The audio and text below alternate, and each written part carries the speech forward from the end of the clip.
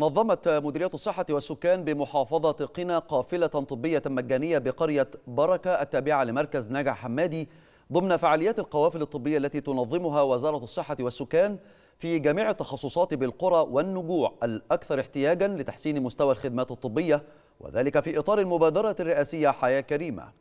حيث وقعت القافلة الكشف الطبي على 829 مواطنا في سبعة تخصصات طبية وذلك انطلاقا من حرص الدولة المستمر على تقديم الرعاية الطبية اللازمة للأسر الأولى بالرعاية عبر القوافل المجهزة بأحدث الإمكانيات والكوادر الطبية.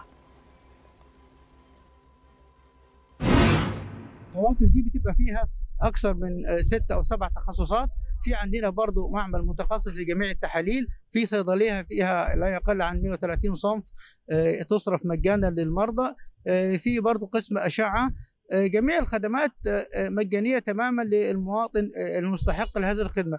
برضو عندنا برضو خدمة العلاج على نفقة الدولة. بنوفر على المريض انه يروح مشوار لمستشفى في المركز أو المدينة. لا إحنا بنجيله لغاية عنده علشان نعمل له قرار على نفقة الدولة. الحمد لله إحنا كشفنا جراحة وكشفنا بطنة وعملوا لنا تحاليل واشاعات والحمد لله بنشكر السيسي.